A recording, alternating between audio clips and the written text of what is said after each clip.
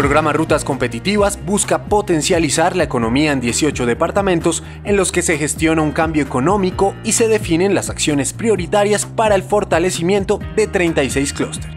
Necesitamos que las regiones tengan las capacidades y hayan definido su norte, hagan una escogencia muy clara hacia dónde quieren ir, renuncien a otras cosas y tengan las capacidades para llegar allá.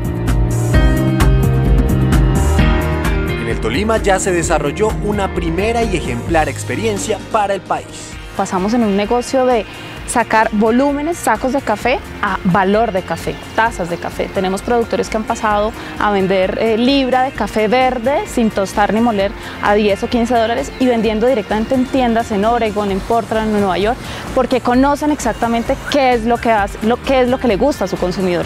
Ya no es bultos de café, son tazas de café.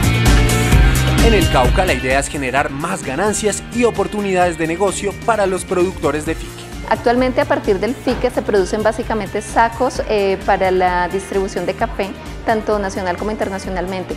La idea es poder hacer una migración de segmento hacia los productos hechos a mano con mayor oportunidad de comercialización internacional.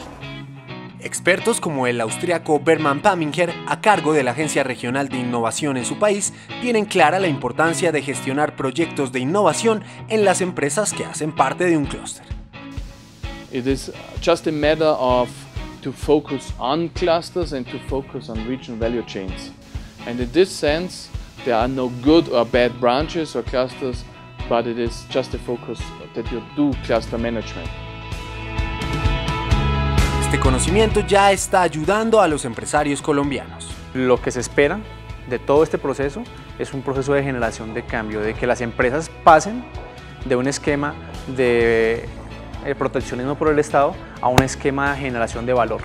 O sea que las empresas definitivamente empiecen a pensar que pueden lograr cosas diferenciales y que compitan de esta manera y no que compitan con temas proteccionistas.